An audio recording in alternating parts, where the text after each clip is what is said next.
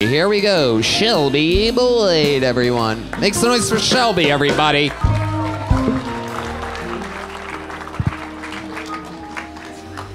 Hey, uh, so uh, Texas is weird. At least I think it is. Because the other day I was uh, at work and I hear someone around the corner walking in heels, and I'm imagining this tall, beautiful, successful businesswoman.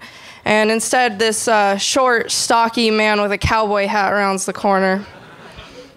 Uh, really threw me off. Um, but I have a couple jokes for you uh, about tortoises. Uh, so my tortoise is like a piano. Uh, it'll kill you if it falls 50 feet under your head.